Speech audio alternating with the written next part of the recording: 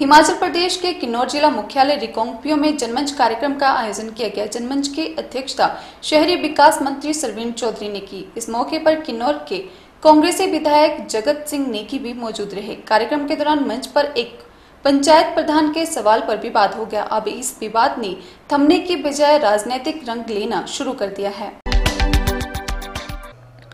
रविवार को हिमाचल प्रदेश के किन्नौर जिला मुख्यालय रिकांगपियो में भी जनमंच कार्यक्रम का आयोजन किया गया।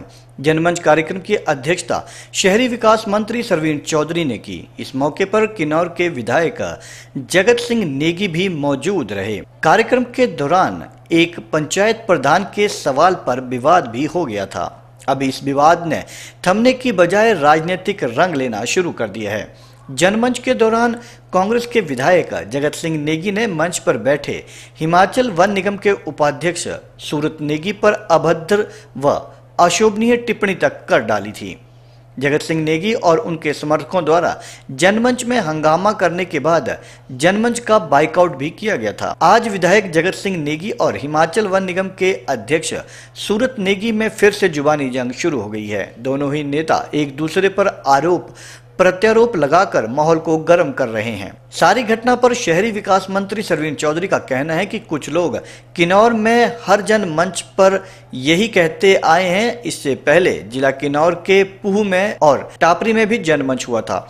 वहाँ भी कुछ लोगों ने ऐसी ही हरकतें की थी। उन्होंने कहा कि विधायक ने नौतोड़ के मामले को लेकर सुप्रीम कोर्ट में एनओसी मिलने का हवाला दिया। इस पर उन्होंने विधायक से सुप्रीम कोर्ट केस स्टेटमेंट की मांग की ताकि सरकार उस आधार पर काम कर सके। सरवीन चौधरी ने कहा कि मंच पर हिमाचल प्रदेश वन निगम के उपाध्यक्ष को विधायक द्वारा अभद्र टिप्पणी की गई जो कि दुर्भाग्यपूर्ण है।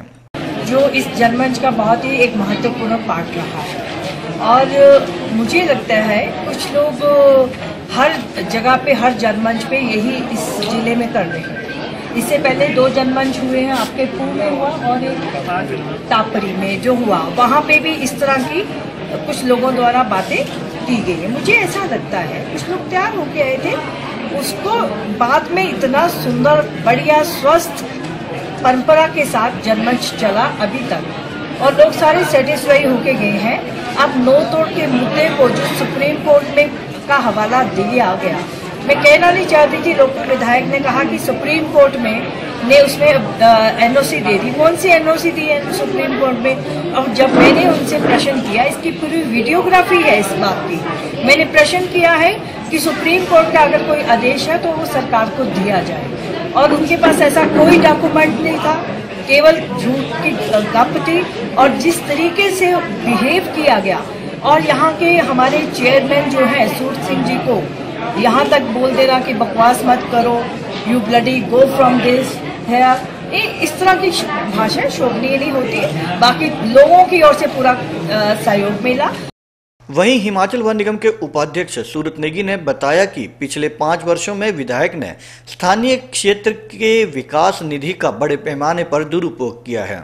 वे मांग कर रहे हैं कि एसआईटी का गठन करके इसकी गहराई से जाँच भी की जाए। उन्होंने कहा कि जिस पंचायत प्रधान के पक्ष में विधायक ने हंगामा खड़ा किया, विधायक ने उस पंचायत को स्थानीय क्षेत्र विकास निधि का 22 लाख जारी किया था, जिसमें 16 लाख की गड़बड़ी हुई है। उन्होंने बताया कि विधायक हर विकास व जनमंच कार्यक्रम में मौजूद होकर लोगों के समस्याओं का निराकरण करवाने के बजाय उसमें बाधा डालने का काम करते हैं। वे किन्नौर के विकास में विलीन की भूमिका निभा रहे हैं। उन्होंने बताया कि विधायक मर्यादाओं को भूल अभद्र भाषा का भी प्रयोग करते हैं। वे उनसे हैसियत पूछ रहे हैं। उन्हें ज्ञान होना चाहिए कि सरकार में राज्य मंत्री के स्तर का औहदा उनका है। बैठकों में चाहे वो पीएससी का हो, चाहे लाड़ा का चुनाव बैठक हो, हर जगह जो है, ये व्यक्ति किन्नौर के मुद्दों को ना उठाकर, किन्नौर की समस्याओं के समाधान के लिए जो बैठकें हो रही है, जो मंत्री आ रहे हैं, उसको डिस्टर्ब करने का प्रयास कर रहा है। और कुल मिला के मैं ये सकता हूँ, ये कह सकता हूँ कि जगत सिंह का जो रोल किन्नौर के अंदर आज है, वो किन्नौर के जन भावनाओं के विरोध में है, किन्नौर का विकास के विरोध में है, और विलियन की भूमिका वो किन्नौर के अंदर निभा रहे हैं। हम चाहे वो Bharatiya Janata party as a उन्होंने कहा कि एक बीजेपी के छुटबुया नेता को मंच पर बिठाया है। और मैं छुटबुया नेता नहीं हूँ, जगत सिंह, कान खोल के सुन ले। मैं हिमाचल सरकार में राज्य मंत्री के लेवल का जो जिम्मेवारी मुझे सरकार में मिली है, और जहाँ तक बात है, एक उसके साथ साथ और उन्होंने कहा कि ना सूरत है, ना सीरत है। तो महामहिम जगत सिंह, जरा फ़ोटो खींच के देख लेना किसका सूरत सुंदर है और किसका नहीं है। इसलिए मैं ये दूर मैंने की राजनीति में पढ़ना नहीं चाहता। ना हमारी पार्टी इसका इजाज़त देती है, लेकिन मैं ये स्पष्ट शब्दों में कहना चाहता हूँ कि जिला किन्नौर के अंदर विकास में जो भी बाधक बनेगा, उसका मुँह तोड़ जवाब दिया जाएगा। और मैं देख रहा था एक कार्यक्रम में वहीं किन्नौर के विधायक जगत सिंह नेगी ने बताया कि मंत्री ने महिला से बदसलूकी की। दूसरा, सरकार में बैठे लोग और अधिकारी किन्नौर के लोगों को गुमराह कर रहे हैं। जनमंच में लोगों को खुलकर बात करने का मौका नहीं दिया जा रहा। नौतोड़ भूमि मामले में लोगों को बेवकूफ़ बनाया जा रहा है। उन्होंने मंत्री पर भी आरोप लगाए कि उन्होंने नौतोड़ भूमि बारे जानकारी नहीं थी और न ही उन्हें प्रोटोकॉल का पता है। मंच पर संबोधन में भी उन्हें नजरअंदाज किया गया। उन्होंने बताया कि इस तरह से जनमंचों का आयोजन लोगों का समय और सरकार के धन का दुरुपयोग है। यहाँ पर जो डिस्ट्रिक्ट लेवल के जो प्रोटोकॉल है, वो डिफरेंट होता है, उसमें नहीं दिया होता फिर भी पब्लिक रिप्रेजेंटेटिव जो होता है, जैसे जिला परिषद की होगी या जिनके नहीं लिखा गया है, जैसे पंचायत समिति के चेयरमैन है, वो अब होना चाहिए। जब वो उनको ही नीचे बैठा कर कहा मैं तो ऊपर बैठाया सारे बिल्ला मैं बैठो उधर कोई नहीं करेगा तो हम उस टाइम लड़ने के लिए खड़े थे फिर. अब पंचायत समिति की चेयरपर्सन है लेडीज़ है ज़्यादातर बेचारी को पता ही नहीं नीचे जाकर क्यों बैठे वो अब है। जिला परिषद वाली तो खैर उनका है तो आ गई। फिर हमने चेयरमैन को लोग बाइकआउट करके आ गए कल। हाँ। उसकी जनमंच की क्या कहते हैं वो ये कहा रह गया टाइम किसी के लिए क्या वो नहीं है। आपके इलाके के लोग इलाके का विधायक दस बजे बुलाया हुआ है। पूरे पहुँचे हुए तो मंत्री सवा ग्यारह बजे आ रही है।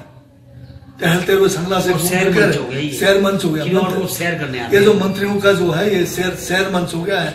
कोई भी मुद्दा पूरा नहीं होता है। आपका जो है एक सर्टिफिकेट देने का लिए मंच बनाया हुआ है। लोगों को जो सर्टिफिकेट दस दिन पहले चाहिए आपको दस दिन इंतज़ार कराते हैं। आपका जो ये क्या कहते हैं इंतकाल होने हैं रेवेन्यू के, वो जो महीना भर पहले होना चाहिए, वो जनमंच के लिए रखा जाता है, ताकि उस दिन मंत्री कुछ न कुछ बांटते हुए दिखे। ये काम आज के डेट में यहाँ पर हो रहा है। कार्यक्रम में एक बार फिर वक्त तो चला, छोटे से ब्रेक का ही मिलते हैं ब्रेक के बाद।